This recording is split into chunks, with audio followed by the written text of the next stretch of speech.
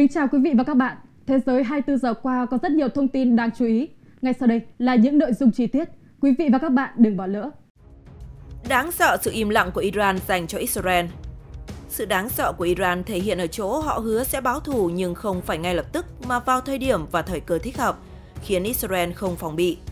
Sau vụ tấn công của Israel vào lãnh sự quán Iran ở Damascus hôm 1 tháng 4, lãnh đạo tối cao của Cộng hòa Hồi giáo Ayatollah Ali Khamenei cho biết Israel sẽ bị trừng phạt vì các vụ giết người, còn tư lệnh IRGC tướng Hossein Salami cảnh báo rằng Israel không thể thoát khỏi hậu quả của cuộc tấn công vào lãnh sự quán Iran ở Damascus.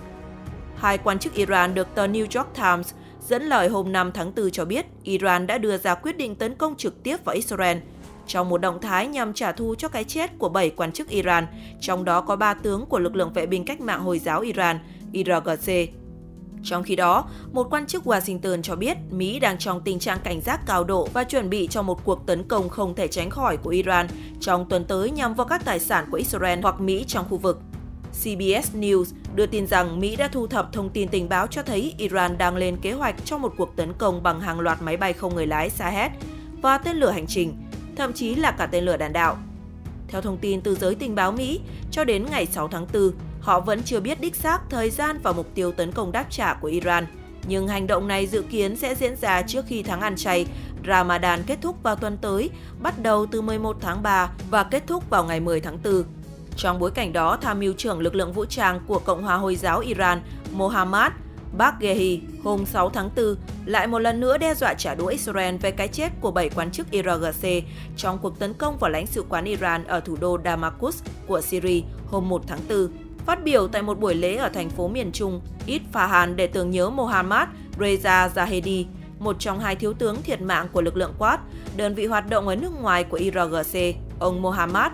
Bagheri nhấn mạnh rằng những kẻ thù của đất nước ông sẽ phải hối tiếc về vụ giết người và đe dọa sẽ gây ra thiệt hại tối đa cho Israel. Tuy nhiên, vị quan chức cấp cao của quân đội Iran cũng cho biết rằng phản ứng của Iran sẽ được thực hiện vào đúng thời điểm với độ chính xác và kế hoạch chặt chẽ, đồng thời gây thiệt hại tối đa cho kẻ thù để chúng phải hối hận về hành động của mình. Theo bình luận của giới truyền thông Nga, bất chấp mọi nỗ lực của Israel nhằm lôi kéo Iran vào cuộc đối đầu quân sự trực tiếp, Tel Aviv khó có thể đạt được mục đích Tehran đã không mắc mưu trước hành động khiêu khích và không phản ứng đáp trả ngay lập tức sau vụ tấn công. Một xác nhận khác về sự bình tĩnh của Iran là tuyên bố của ông Mohammad Mohammad Hossein Bakeri về việc Tehran chắc chắn sẽ trả thù vụ sát hại công dân của mình, nhưng trả thù là món ăn nguội.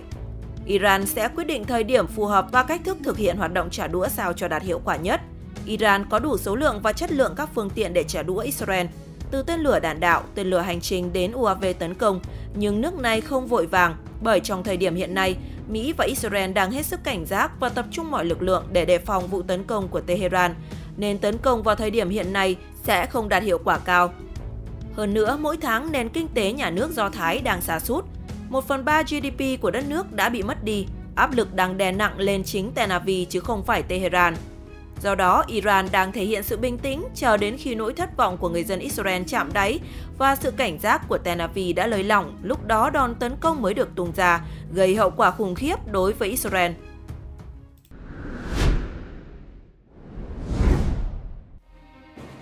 Chiến tranh toàn diện giữa Iran và Israel là điều khó tránh khỏi. Mỹ cảnh báo về khả năng xảy ra chiến tranh toàn diện giữa Iran và Israel sau cuộc không kích vào lãnh sự quán Iran ở Syria người phát ngôn Hội đồng An ninh Quốc gia Mỹ John Kirby nói với CNN ngày 5 tháng 4. Phát biểu về nguy cơ xung đột lớn giữa Israel và Iran, ông Kirby nêu rõ, chúng tôi rất lo ngại về kịch bản này. Trên thực tế, một trong những điều mà các nhà lãnh đạo hàng đầu của Iran nói đến là mối đe dọa rất công khai và thực tế này của Tehran đối với Israel. Theo kênh CNN, Mỹ đang trong tình trạng cảnh giác cao độ và tích cực chuẩn bị cho một cuộc tấn công đáng kể có thể xảy ra ngay trong tuần tới bởi Iran nhắm vào tài sản của Israel hoặc Mỹ trong khu vực để đáp trả vụ không kích của Tel Aviv ở Damascus.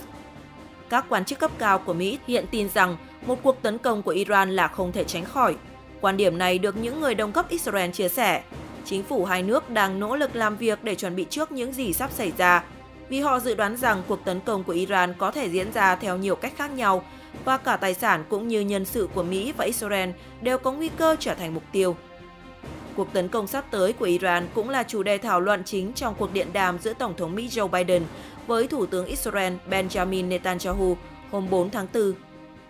Nhưng tính đến ngày 5 tháng 4, Mỹ và Israel vẫn chưa biết Iran dự định tấn công khi nào và như thế nào. Chiến tranh toàn diện giữa Iran và Israel là điều được dự báo rõ ràng và có thể khởi đầu từ những vụ trả đũa giữa hai bên rồi nâng cấp lên trên diện rộng. Một cuộc tấn công trực tiếp vào Israel của Iran là một trong những tình huống xấu nhất mà chính quyền Biden đang chuẩn bị ứng phó. Vì nó sẽ dẫn đến sự leo thang nhanh chóng của tình hình vốn đã hỗn loạn ở Trung Đông. Một cuộc tấn công như vậy có thể dẫn đến cuộc chiến Israel-Hamas, mở rộng thành một cuộc xung đột khu vực rộng lớn hơn, điều mà Tổng thống Biden từ lâu đã tìm cách tránh. Trước đó, kênh i24 News của Israel đưa tin rằng nước này đang chuẩn bị cho các cuộc tấn công tiềm tàng của Tehran sau vụ không kích vào lãnh sự quán Iran ở Syria. Ngày 1 tháng 4, hãng thông tấn Sana của Syria đưa tin không quân Israel đã tiến hành cuộc tấn công vào một tòa nhà ở Damascus. Các phương tiện truyền thông Iran cho biết lãnh sự quán Iran là mục tiêu của vụ tấn công khiến 13 người thiệt mạng. Lực lượng vệ binh cách mạng Hồi giáo Iran IRGC cho biết trong một thông cáo rằng cuộc tấn công đã khiến 7 cố vấn quân sự trong đó có tướng Mohammad Reza Zahedi và tướng Mohammad Hadi Haji Rahimi thiệt mạng. Lãnh đạo tối cao Iran Ayatollah Ali Khamenei tuyên bố Tehran sẽ khiến Israel hối hận về cuộc tấn công của mình và Tổng thống Iran Ebrahim Raisi cam kết sẽ đáp trả. Trước khi có một cuộc chiến tranh toàn diện giữa Iran và Israel, thì nhiều chuyên gia đã đưa nhận định về thời điểm và hình thức Iran ra đòn trả đũa Israel. Theo hãng tin Reuters, đến nay Iran vẫn tránh trực tiếp tham gia vào cuộc xung đột ở giải Gaza. Các nhà lãnh đạo Iran cũng công khai chỉ ra rằng nước này không muốn một cuộc chiến tranh lớn có thể gây bất ổn cho đất nước. Tuy nhiên, kênh CNN của Mỹ cho rằng cuộc tấn công vào khu phức hợp Đại sứ quán Iran ở thủ đô Damascus của Syria ngày 1 tháng 4 có thể là sự leo thang nguy hiểm nhất bên ngoài Gaza kể từ khi bắt đầu cuộc chiến Hamas-Israel gần 6 tháng trước. Syria và Iran đã đổ lỗi cho Israel về cuộc không kích phá hủy tòa nhà nằm trong khu phức hợp Đại sứ quán Iran tại Damascus, giết chết chuẩn tướng Mohammad Reza Zahedi, chỉ huy cấp cao lực lượng Quad thuộc lực lượng vệ binh cách mạng Hồi giáo Iran IRGC và một số quan chức khác. Phát biểu tại hội nghị trực tuyến thảo luận về tình hình tại giải Gaza và khu vực hôm 3 tháng 4, Tổng thống Iran Ebrahim Raisi đã cáo buộc Israel phải chịu trách nhiệm về vụ tấn công đại sứ quán Iran tại thủ đô Damascus của Syria hôm 1 tháng 4, đồng thời cảnh báo sẽ trả đũa tương xứng.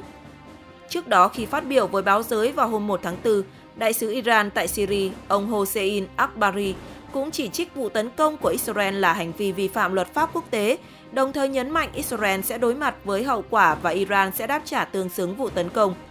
Liên quan tới việc Iran trả đũa, cựu giám đốc tình báo Israel Amos Jadlin, người hiện làm việc tại trung tâm Belfer của trường Kennedy tại Đại học Harvard, Mỹ, nhận định Tehran có thể chọn ngày 5 tháng 4 để đáp trả cuộc tấn công ở Damascus, trực tiếp hoặc thông qua lực lượng ủy nhiệm.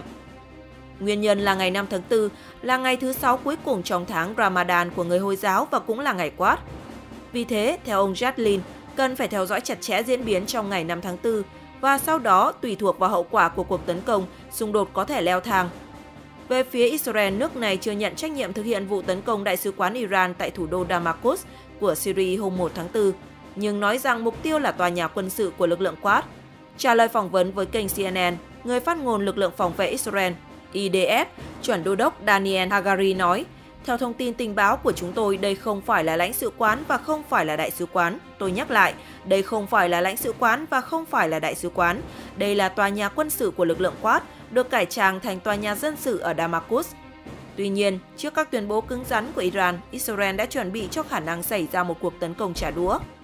Hải Yến cảm ơn quý vị và các bạn đã quan tâm theo dõi chương trình. Quý vị đừng quên nhấn chuông theo dõi kênh Diễn đàn Doanh nghiệp TV để cập nhật nhiều thông tin nổi bật khác. Xin kính chào và hẹn gặp lại.